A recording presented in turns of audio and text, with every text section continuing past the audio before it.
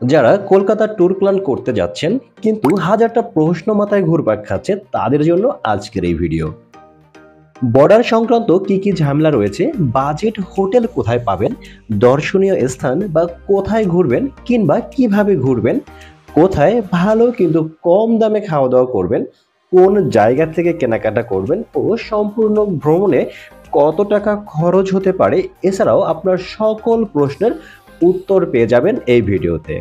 দুই দিন ঘোরাঘুরি, একদিন কেনাকাটা, সাথে যাওয়া আসা মিলে আরও দুই দিন এই মোট পাঁচ দিনের ট্যুর প্ল্যান করতে পারেন। তবে যদি সময় শর্ট হয়, তাহলে চার দিনেই এই ট্যুর শেষ করতে পারেন। আমি বাই রোড যশোরের বেনাপোল দিয়ে কলকাতা ঢোকার প্ল্যান বর্ণনা করেছি। কেউ যদি বাই ইয়ার বা রেলে কলকাতা ঢোকেন, তবেও আমার এই প্ল্যানটি অ্যাডজাস্ট করে নিতে পারবেন। প্রথম দিন ঢাকার সায়দাবাদ, গাবতলি বা কমলাপুর থেকে সরাসরি ছয়শো টাকা থেকে সাতশো টাকায় বা আপনি যেখানে রয়েছেন সেখান থেকে বাসে রওনা হয়ে ভোর ভোর বেনাপোল বর্ডারে চলে আসুন। বর্ডারে আপনার প্রথম কাজ হচ্ছে ইমিগ্রেশন অফিসের নিচে লাইনে দাঁড়িয়ে ট্রাভেল ট্যাক্স পাঁচশো টাকা ও ল্যান্ডপোর্ট ট্যাক্স বাবদ পঞ্চাশ টাকার দুটা রসিদ কেটে ফেলা। শান্তিতে ইমিগ্রেশন পার হতে চাইলে সাথে অবশ্যই যে সকল কাগজপত্র রাখবেন, মনোযোগ দিয়ে শুনুন। আপনার ভিসা সহ পাসপোর্ট করোনা ভ্যাকসিনের সার্টিফিকেট সরকারি চাকরিজীবী হলে এনওসি ও জিও সরকারি বেসরকারি চাকরিজীবী উভয়ের জন্য অফিস ছুটির আদেশ বা কর্মস্থল ত্যাগের অনুমতিপত্র স্টুডেন্ট হলে আইডি কার্ড হাউস ওয়াইফ হলে ম্যারিজ সার্টিফিকেট সাথে পাসপোর্ট ডলার এন্ডোর্সমেন্টের পেপার ও ডলার এবং এই সব কাগজপত্রের কয়েক সেট ফটোকপির সাথে কয়েক কপি পাসপোর্ট সাইজের রঙিন ছবি সাথে রাখবেন। তবে একটা পচা বুদ্ধি শিখিয়ে দিচ্ছি। যদি মনে করেন কোনো কাগজের কারণে আপনি বাংলাদেশ অংশের ইমিগ্রেশনের ঝামেলায় পড়তে পারেন, তবে ইমিগ্রেশন অফিসারের কাছে পাসপোর্ট দেওয়ার আগে পাসপোর্টের মধ্যে একশো টাকার দুইটা বা তিনটা নোট ঢুকিয়ে দেবেন। দেখবেন বিনা প্রশ্নে আপনার পাসপোর্টে সিল হয়ে গিয়েছে ইন্ডিয়াতে প্রবেশ করার জন্য। বাংলাদেশ অংশে কাজ শেষ করে নোম্যান্স ল্যান্ড অংশ দিয়ে প্রবেশ করুন ইন্ডিয়ান অংশে।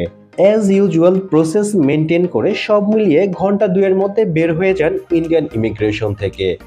কপাল খারাপ হলে লোকের ভিড় বেশি থাকলে চার থেকে ছয় ঘণ্টা লেগে যেতে পারে। ও, সাথে একটা কলম রাখবেন ডিপার্চার ফর্ম পূরণ করার জন্য। চাইলে সাথে একটি ছাতা রাখতে পারেন, কারণ রোদ বৃষ্টি থেকে আপনাকে বাঁচাবে। বেনাপোল ইমিগ্রেশনের আদ্যপাদ্য সম্পর্কে জানতে চাইলে ডিসক্রিপশন বক্সে ভিডিও লিংক দেওয়া রয়েছে, চাইলে দেখে নিতে পারেন। বর্ডার পার হওয়ার পরে প্রথম কাজ হচ্ছে বর্ডারের সংলগ্ন প্রচুর মানি এক্সচেঞ্জ দোকান রয়েছে। সেখান থেকে কয়েকটা দোকান যাচাই করে সর্বোচ্চ রেটে বাংলা টাকা রুপিতে কনভার্ট করে নিন। যদিও কলকাতার মার্কুইস স্ট্রিটে প্রচুর মানি এক্সচেঞ্জের দোকান রয়েছে। ইচ্ছে করলে সেখান থেকেও টাকা এক্সচেঞ্জ করে নিতে পারেন। টাকা কনভার্ট হয়ে গেলে পাশেই বর্ডার হোটেল রয়েছে। দেখে পছন্দ না হলেও সেখানের খাবারের মান যথেষ্ট ভালো। এখান থেকে দুপুরের খাবার খেয়ে পূর্ব সিদ্ধান্ত অনুযায়ী বাসে বা ট্রেনে কলকাতার এক খণ্ড বাংলাদেশ মার্কুইস স্টিলে রওনা হয়ে যান। বাসে যেতে চাইলে দেশ ট্রাভেল শ্যামলী সহ বেশ কয়েকটি বাস সার্ভিস রয়েছে।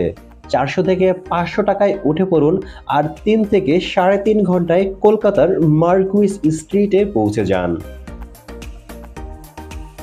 ট্রেনে যেতে চাইলে বর্ডার থেকে শেয়ার পঞ্চাশ রুপিতে বা রিজার্ভ দুইশো রুপিতে একটা সিএনজি নিয়ে চলে আসুন বনগা রেল স্টেশনে।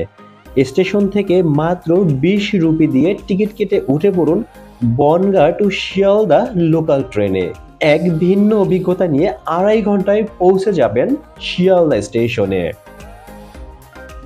স্টেশন থেকে বের হয়ে একশো পঞ্চাশ বা দুইশো রুপিতে একটা ট্যাক্সি বা সিএনজি নিয়ে চলে আসুন কলকাতার মার্কুইস স্ট্রিটে মার্কুইস স্ট্রিট ও মির্জা গালিব স্ট্রিটে আপনার চাহিদা মতন হোটেল পেয়ে যাবেন।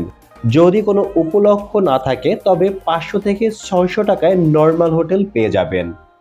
তবে যদি বিশেষ কোনো ছুটির দিনে হাজির হন, তবে সেই একই রুম বারোশো থেকে পনেরোশো রুপিতে নিতে হবে। তাই বিশেষ ছুটির দিনগুলো এড়িয়ে ট্যুর প্ল্যান করার জন্য পরামর্শ দিচ্ছি। কিছু নর্মাল হোটেলের লোকেশন লিংক ডিসক্রিপশন বক্সে দিয়ে দিয়েছি, ইচ্ছে করলে দেখে নিতে পারেন। হোটেলে উঠে একটা ফ্রেশ ঘুম দিয়ে প্রথম দিনের সমাপ্তি টানুন। দ্বিতীয় দিন যে সকল জায়গা ঘুরবেন, Saint Paul cathedral Birla তারামণ্ডল, Fort William দুর্গ, ভিক্টোরিয়া মেমোরিয়াল সায়েন্স সিটি ও সর্বশেষ মাদার ওয়ার্কস মিউজিয়াম। মনে রাখবেন, সকাল দশটার আগে কলকাতার কোনো স্পটই ওপেন করে না। Saint Paul's Cathedral Birla তারামণ্ডল, Fort William দুর্গ ও ভিক্টোরিয়া মেমোরিয়াল এই স্পটগুলো একদম কাছাকাছি ওয়াকিং ডিস্ট্যান্স এবং পার্ক স্ট্রিট থেকে প্রায় তিন কিলোমিটার দূরে অবস্থিত। মার্কুইস স্ট্রিট থেকে সিএনজি বা ট্যাক্সিতে একশো পঞ্চাশ থেকে দুইশো রুপিতে ভিক্টোরিয়া আসতে পারেন। অথবা মার্কুইস স্ট্রিট থেকে দুই মিনিট হেঁটে পার্ক স্ট্রিটে এসে পাঁচ টাকায় মেট্রো রেলে চেপে নতুন একটা দারুণ অভিজ্ঞতা নিয়ে চলে আসুন ময়দান স্টেশনে। ময়দান থেকে দুই পা হেঁটে প্রথমে চলে আসুন সেন্ট পল ক্যাথেড্রাল বা খ্রিস্ট ধর্মাবলম্বীদের প্রার্থনার চার্চে। এখানে প্রবেশ মূল্য জনপ্রতি মাত্র দশ রুপি। চাইলে তিরিশ থেকে চল্লিশ টাকায় এখানে স্ট্রিট ফুড দিয়ে সকালের নাস্তা সেরে নিতে পারেন।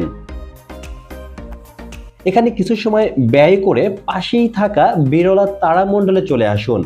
বিরলা তারামণ্ডল আসলে একটা থিয়েটারের মতো, এখানে আকাশ ও সৌরজগৎ নিয়ে তিরিশ মিনিটের একটা শো হয়।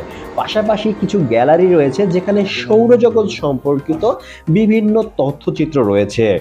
এখানে প্রবেশ মূল্য জনপ্রতি একশো পঁচিশ রুপি। চাইলে এই জায়গাটা স্কিপ করতে পারেন সময় বাঁচানোর জন্য।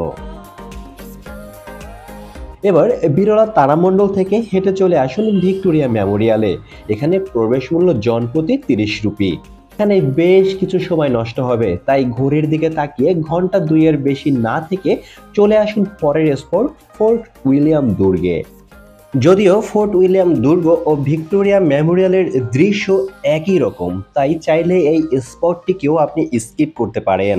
এবার একটি ট্যাক্সি নিয়ে দুইশো থেকে দুইশো পঞ্চাশ রুপিতে চলে আসুন সায়েন্স সিটি। এখানে প্রবেশ মূল্য জনপ্রতি ষাট রুপি। আর যদি রোপওয়েতে প্রবেশ করতে চান, তবে আরও পঁয়ষট্টি রুপি দিতে হবে। এই মোট একশো পঁচিশ রুপি। আমি রোপ ওয়ে দিয়ে প্রবেশ করার জন্য পরামর্শ দিব, কারণ সায়েন্স সিটির আসল সৌন্দর্য আপনি উপর থেকেই উপভোগ করতে পারবেন। এখানে আরও কিছু অ্যাক্টিভিটিস রয়েছে, সেই মূল্য তালিকা দিয়ে দিলাম, দেখে নিতে পারেন। চাইলে সায়েন্স সিটি থেকে কিছু ফাস্ট ফুড ট্রাই করতে পারেন। সায়েন্স সিটি ঘোরা শেষে একটা ট্যাক্সি নিয়ে একশো পঞ্চাশ রুপিতে চলে আসুন মাদার ওয়েক্স মিউজিয়াম বা মোমের তৈরি মানুষের জাদুঘরে। এখানে প্রবেশ মূল্য জনপ্রতি দুইশো পঞ্চাশ রুপি। ভিতরে অনেক বিখ্যাত লোকের আদলে হুবাহু তৈরিকৃত মোমের মূর্তির সাথে ছবি তুলতে পারবেন। এখানে বেশ কয়েকটা গ্যালারি রয়েছে, ঘুরে ঘুরে দেখে নিন। এই মিউজিয়াম খোলা থাকে দুপুর বারোটা থেকে সন্ধ্যা সাতটা তিরিশ মিনিট অবধি। তাই সময়ের দিকে তাকিয়ে সবগুলো স্পট ঘোরা শেষ করতে হবে। চাইলে মিউজিয়ামের পাশে সুরিয়া রেস্টুরেন্ট থেকে চিকেন বিরিয়ানিটা টেস্ট করতে পারেন। একটা অসাধারণ টেস্ট পাবেন বলে দিচ্ছি। মিউজিয়াম ঘোরা শেষে আবার একটি ট্যাক্সি নিয়ে দুশো পঞ্চাশ বা তিনশো রুপিতে চলে আসুন মার্কুইস স্ট্রিট বা আপনার হোটেলের রুমে। চাইলে রাতে মার্কুইস স্ট্রিট থেকে সতেজ হওয়ার জন্য বিশ রুপির বিনিময়ে একটা মদ কাঁচা খেয়ে নিতে পারেন। অসাধারণ টেস্ট বলে দিচ্ছি।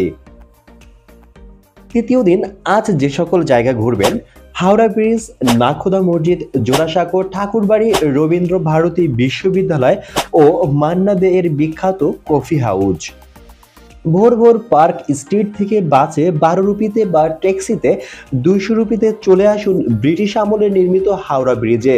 সকালের ছবি তোলার জন্য একটা চমৎকার আবহাওয়া পাবেন যা সন্ধ্যায় পাবেন না।